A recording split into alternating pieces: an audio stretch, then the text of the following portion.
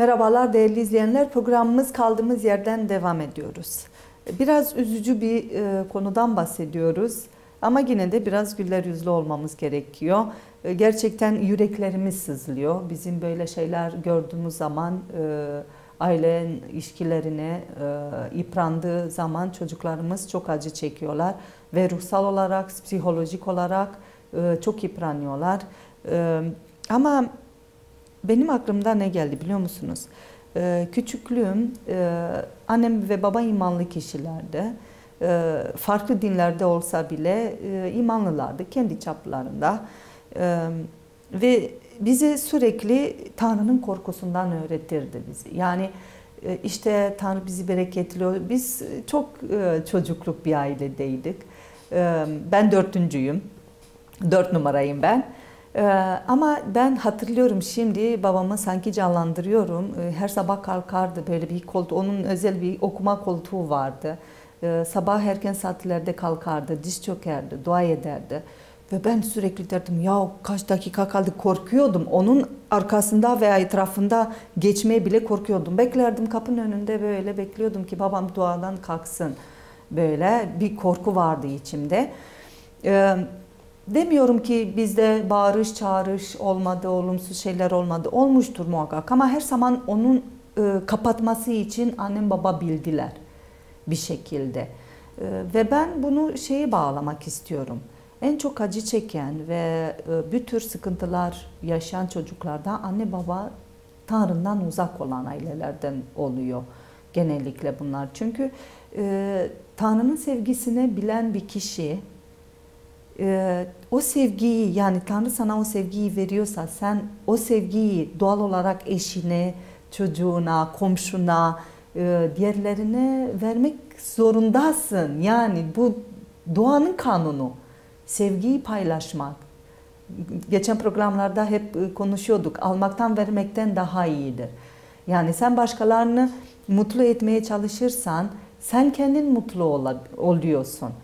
Yani hadi diyelim ki başkalarını boş ver dersin ki bana ne komşundan veya ama senin canını senin ciğerin sen onun nasıl mutluluğu iste, istemezsin. Dediğiniz gibi o çocuğu orada o e, erken saatlerde oturup oturup dinleniyordu veya ne yapıyorlarsa. Yani o annesinin babasının yüreğini hiç mi sızlanmaz?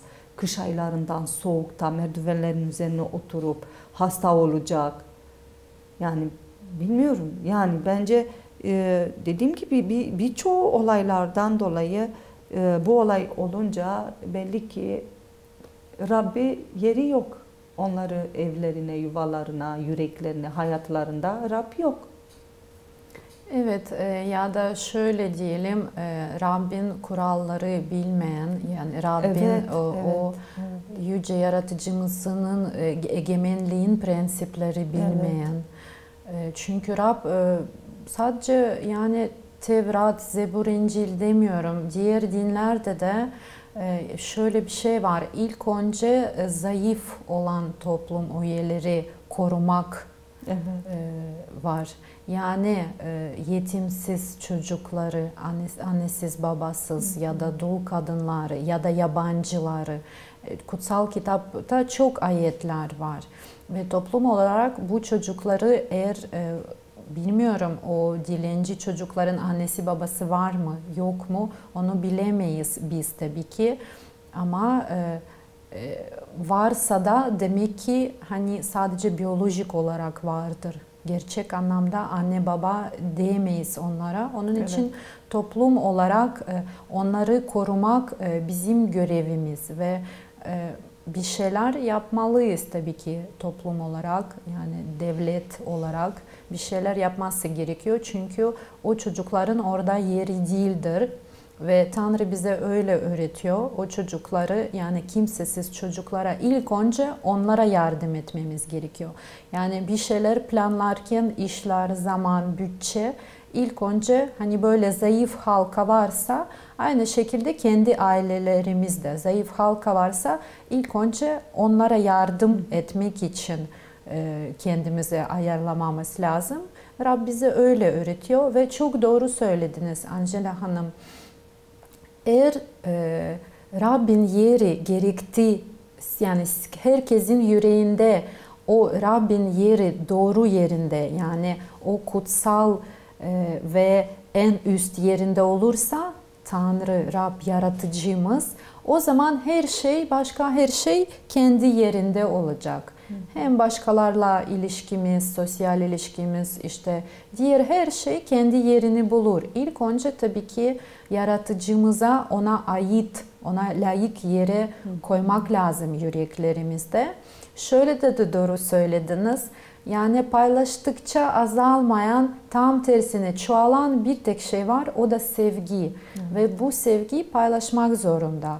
Hele bir insan kendine imanlı diyorsa, hele bir insan kendine Allah'ı tanıyorum diyorsa, Allah'ın adını ağzına, e, diline alan bir insansa, e, o zaman kesinlikle kesinlikle kendini o Allah'ın sevgisinin bir e, kanalı, bir yolu olarak yani hmm. bu dünyaya gökten bu dünyaya akan bir böyle kaynak olmuş kaynak olur. diyelim. Evet ki ee, sevginin kaynağı yüce yaratıcımız Hı. ve bu sevgiyle paylaşmak için tabii ki yaratıcımızı daha yakından tanımamız gerekiyor ve onunla olan bağ en önemli diyoruz. Evet. Yani evet. hayatımızın temelidir diyebiliriz. Evet.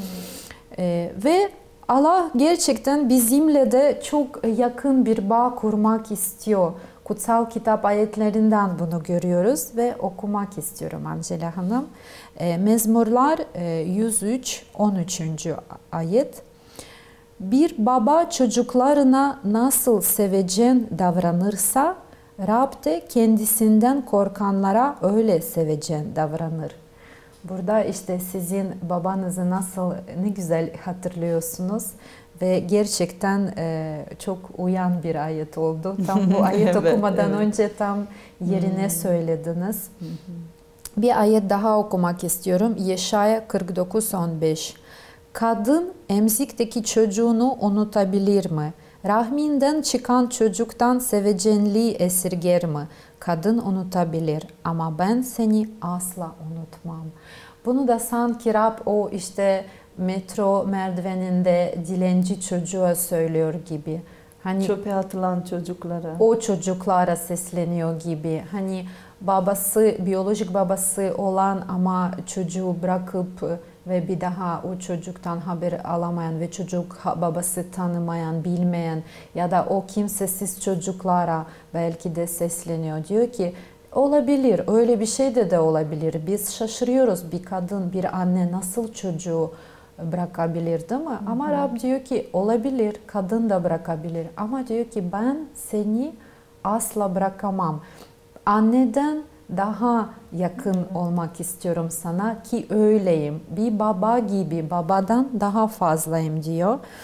Ve e, tabii ki streste, depresyonda, yalnız yalnız yalnızlık hissi hisseden insanlar biliyorsunuz Angela Hanım e, bugün e, biz mesela sizinle çok kalabalık bir şehirde yaşıyoruz değil mi? Ve gün içinde çok sık zaman yani böyle kalabalık kalabalığa karışıyoruz. Ailelerimiz de kalabalık olabilir, arkadaşlık çevremiz de kalabalık olabilir ama insan bazen o kalabalıkta bile kendini çok yalnız hissedebilir. hissedebilir. Gerçekten.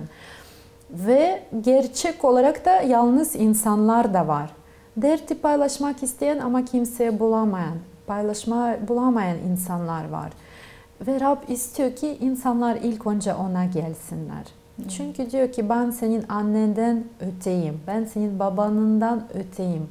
Ben en yakın ilk önce benim, ben en yakın olanım sana. İlk önce o sıkıntısını, derdini bana gel, getir bana ve ben seni bir anne gibi sana sarılırım, sana hmm. ümit veririm, sana huzur veririm, esenlik veririm, sevgi veririm diyor. Kol kanat olurum. Tabii kol kanat olurum. Ne güzel söylediniz. Ee, şöyle bir mezmur daha okumak istiyorum. Ee, 41 6. ayet. Ee, burada Davut peygamberimiz şöyle dedi. Neden üzgünsün ey gönlüm? Neden içim huzursuz?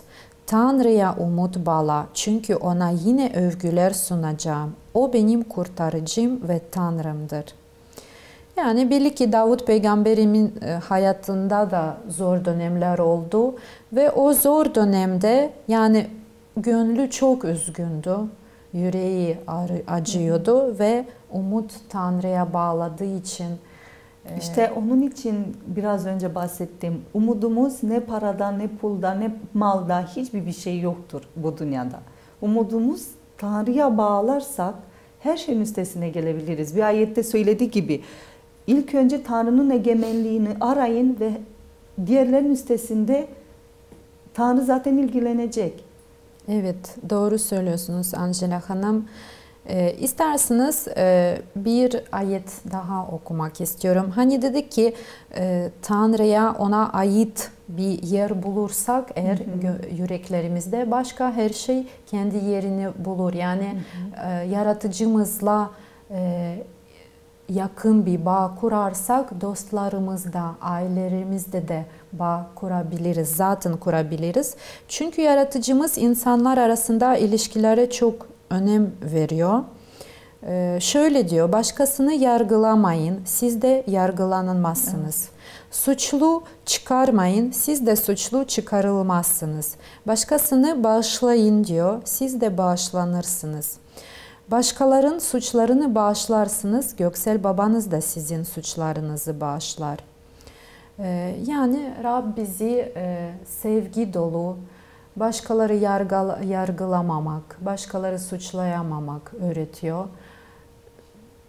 Çok güzel şeyler öğretiyor ve bizi mutlu ve huzur dolu bir yaşama davet ediyor. Ben de aminle kapatmak istiyorum. Teşekkür etmek istiyoruz Setana Hanım. Bugün de bizimle beraber olduğunuz için.